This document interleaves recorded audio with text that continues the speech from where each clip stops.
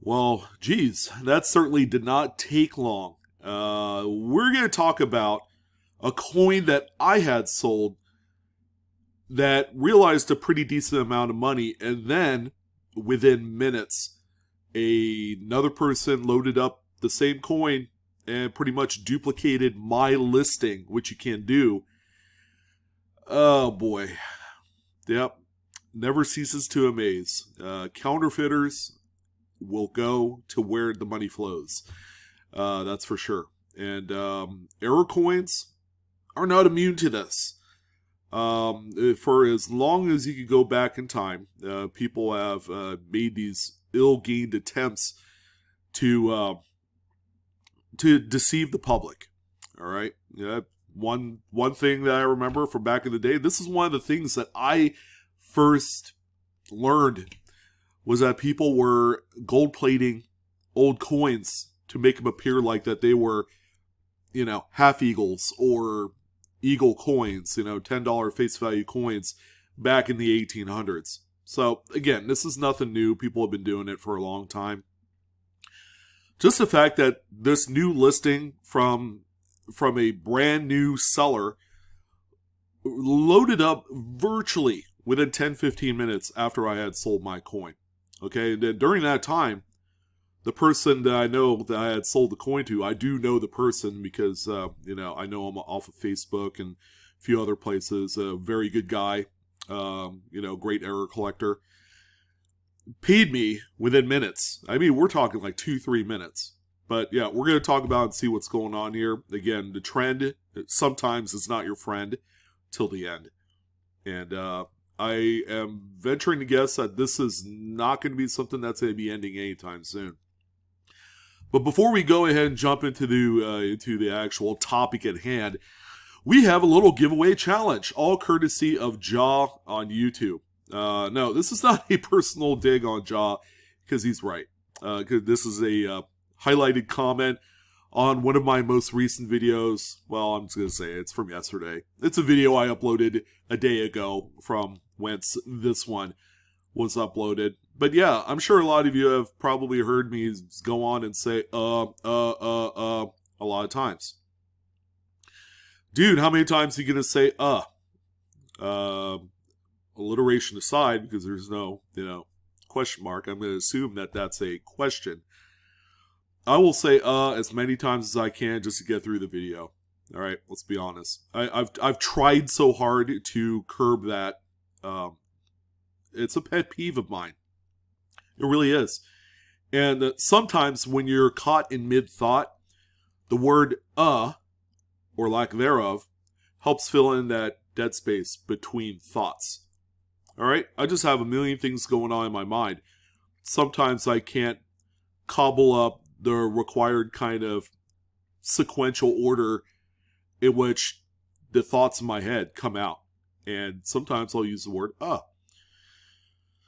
So yeah, the giveaway challenge for this particular video. So, Jaw, I'm pretty sure he's not, you know, related to Ja Rule or Ja Morant of the Memphis Grizz- Grizzlies basketball team. Dude, how many times are you going to say, uh? If you guys are interested in the giveaway challenge, I'll, uh, I'll do a giveaway of a coin valued up to $40. Uh, it'll be randomly selected. All you have to do is take Jaws comment and uh, go ahead and repost it in the comments below. All right, and uh, we will do a randomizer for for that. Uh, so yeah, it's gonna be a little blind giveaway challenge. So you guys better take advantage of that while you can. All right, so this is the coin right here that I had sold. All right, uh, 2021P die crack, K3 to K7 error, gem unc, Lincoln cent, only one known, stage two. So this particular coin right here, and note the the wording that I use in this particular titled listing. Because this is going to be important for Mr. Mrs. Scammer guy, or whoever that is. Um, that is going to be a huge red flag. All right. It's a very obvious flag, no doubt about it. Excuse me. What makes this coin quite unique is it's the only known example to have the pre cud die break stage of the crack that goes all the way through. Whereas some of the earlier stages, the stage one, is what I like to call it, and that's what people have referred to it as, the cracks kind of end right here in the middle. Like you don't get the complete complete line that goes all the way across in both areas. This area here that is cordoned off on this crack is going to eventually be the interior die break that pops off the coin. But this one right here, $405 is what I ended up selling this for. The money's going to go to a much bigger, better cause uh, later this summer. Uh, and in addition, um, I have a few other giveaways. Got, got to get ready for the holiday giveaway, right? Uh, you guys know that that's always a big event on my channel. So the holiday giveaway, uh, got got to put together and cobble, you know, a few bucks together in this crazy inflationary world that we're living in. All right, so that's my coin right there. Uh, oh, and notice also the uh, I used a um, a ledger where I put the coin onto, so that's kind of how you have this pebbly textured surface that I'm sitting the coin on. Uh, it's very safe for the coin. It's it's not abrasive or anything like that. Um, so that's the the uh, kind of like the leather-ish faux leather texturing on the notebook.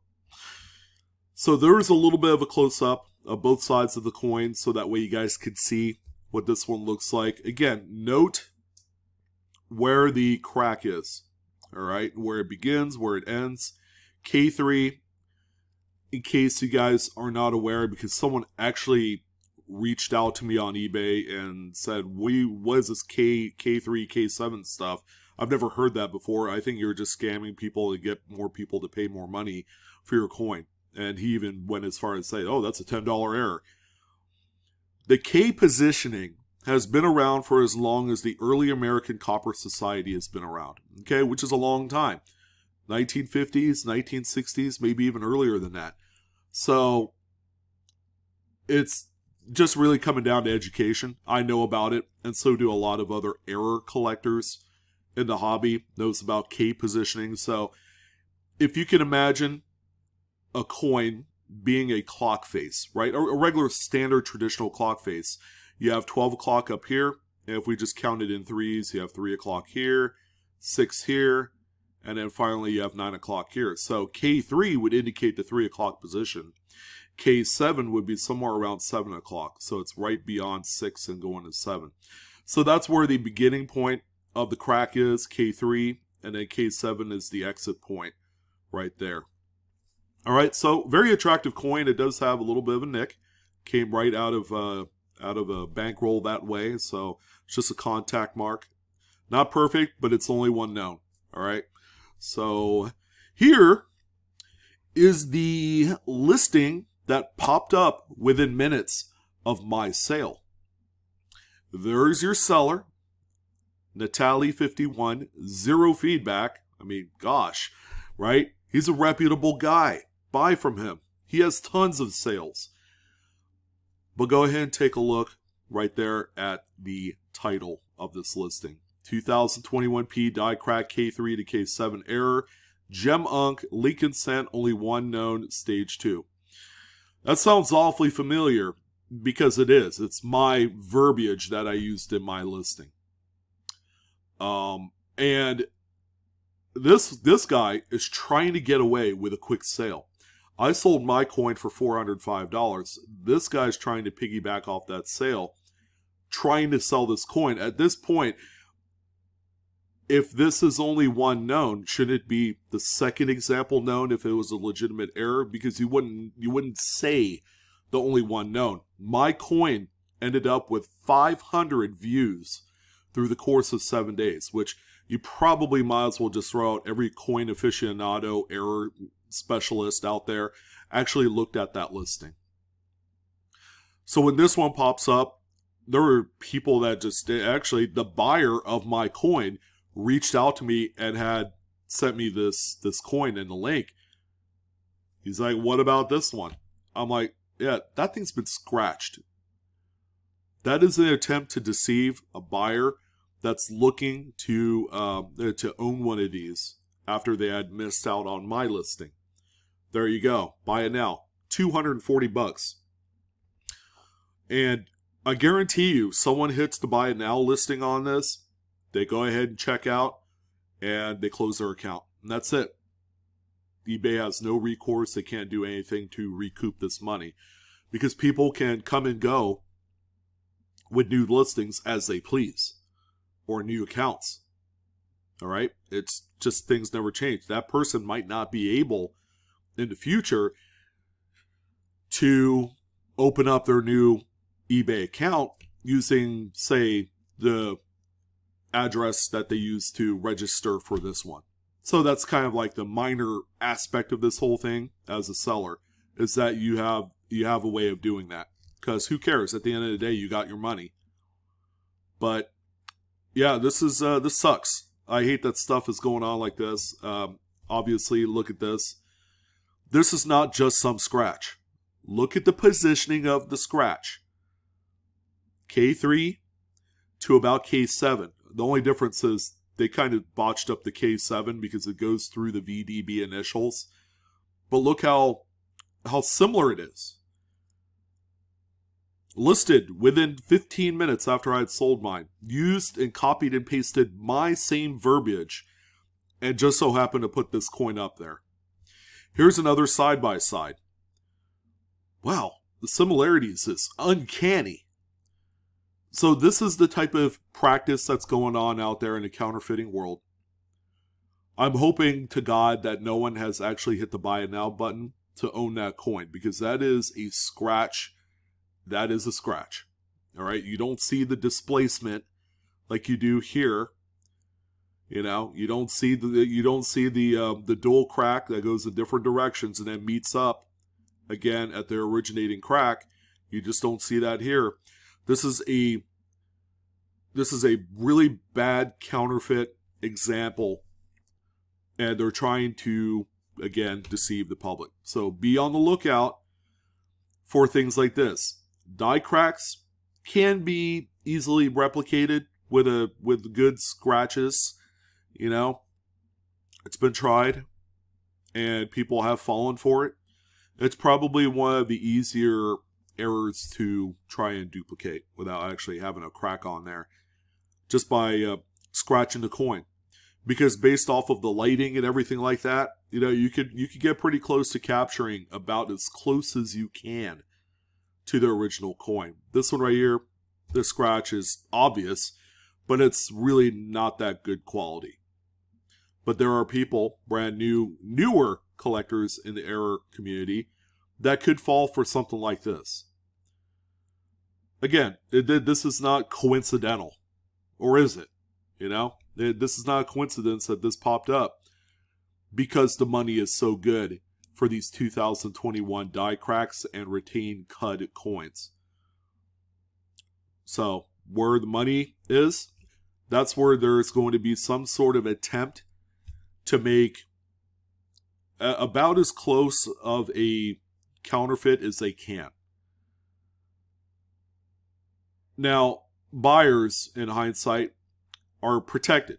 All right, they buy something, they receive it, or maybe the, the, the seller doesn't send it out at all and just keeps the money. But this is something right here where you can get your money back. And eBay's end up eating that amount of cash. Another thing to point out that I just recognize is the uncanny resemblance of the color of the background. While the texture is different, from one to the other, they were trying really hard to be about as accurate as they can to my listing. Unfortunately, they failed miserably because we're talking about it here today. But there you go. That is your morning funny for a Saturday morning. I'm going to do the good old PCMR this afternoon. Uh, more than likely, you'll see my coin on the list because it's worth talking about. And um, yeah, that was a fun little conversation. You guys be very wary. All right, I want you guys to be cautious at what you're buying out there, especially for all the raw coins that exist out there. There's a pretty high likelihood that there's something going on with it if you don't know what you're looking at. It's really easy to deceive a lot of people because there are a lot more newer collectors in the hobby than there are old. All right. So that's going to go ahead and do it. I'm your host, Sean with Blue Ridge Silverhound. Don't forget to like, share, subscribe. Make sure you put in Jaws' comment at the bottom of this video and then just do, you know, write out a separate comment uh, about, you know, the coin or whatever you want to do. So you can put two comments on if you want. It's going to help out with my algorithms tremendously. But we'll do a giveaway um, a week from today. So next Saturday, well, we'll go ahead and announce it. It's to be a really nice coin as well. And also uh, join my TikTok. Uh, would love to uh, add a few more follows on there. We're trying to get to a thousand followers. I can't believe it's taking me this long, but you know, all good things come to those who wait. But that's going to go ahead and do it for this one. You guys have a pleasant Saturday. Get a little hunting in if you can. And uh, I'll see you guys on the next coin video. So long.